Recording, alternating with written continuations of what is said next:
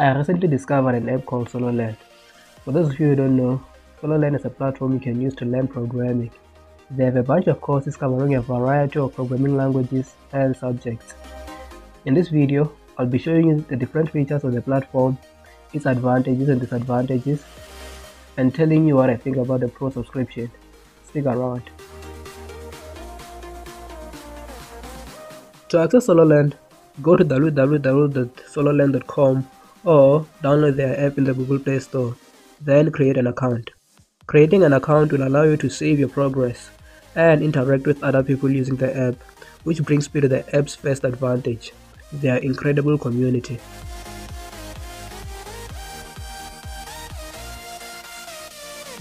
The app might be named SoloLearn, but you're not alone here. SoloLearn has a good community of developers and students you can interact with.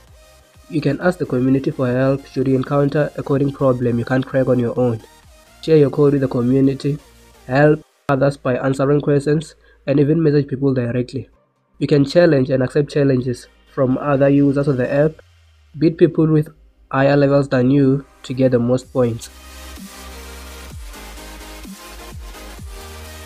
SoloLearn has a bunch of features you can use to track your progress as you learn to code. You start at level 0 and as you learn, solve problems and beat people in challenges, you gain points which allow you to level up.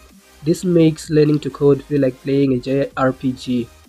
The leaderboard shows your progress relative to other developers locally and internationally. You get badges for different accomplishments as you learn and you can set daily goals to reach. I do 2 lessons per day. SoloLearn has a huge built-in compiler and code editor called Code Playground. This supports a variety of programming languages including Java, C++, C Sharp, Python, Kotlin, PHP, Ruby, HTML, CSS, JavaScript, etc.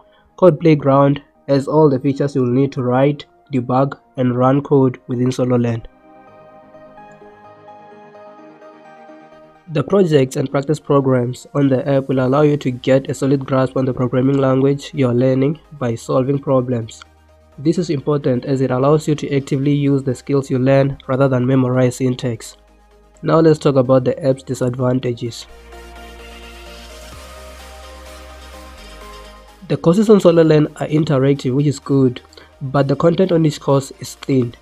They give you the bare minimum you will need to use the app in conjunction with a coding tutorial or a coding book. The app on its own is perfect to refresh your knowledge and practice your coding skills.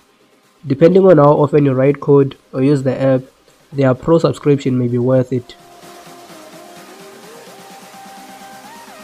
If you are a CS student looking for an app to practice your coding on, the projects on this app may be worth it.